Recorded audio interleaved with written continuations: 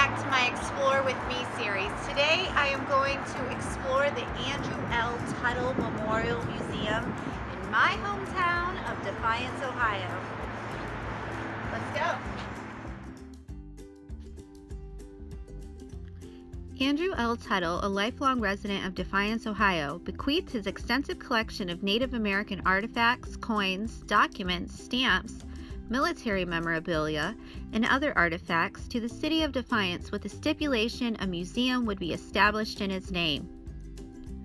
The city accepted the entire collection in 2003 and steps were taken to catalog and stabilize the collection.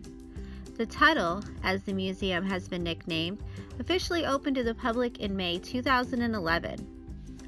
Although the museum bears Tuttle's name, the museum is dedicated to preserving the history of the city of Defiance and the surrounding area.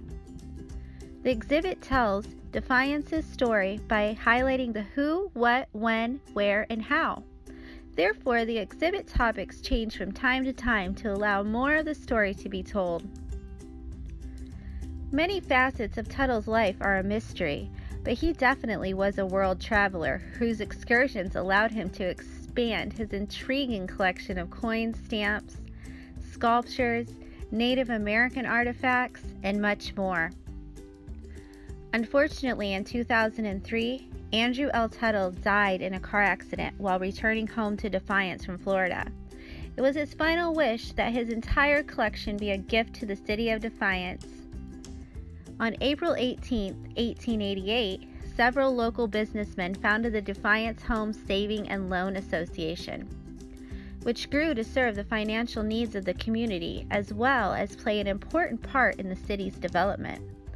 By 1917, the Home Saving and Loan occupied an impressive classic Roman style building at West 3rd Street and the Andrew L. Tuttle Memorial Museum is now proud to call this historic landmark its home.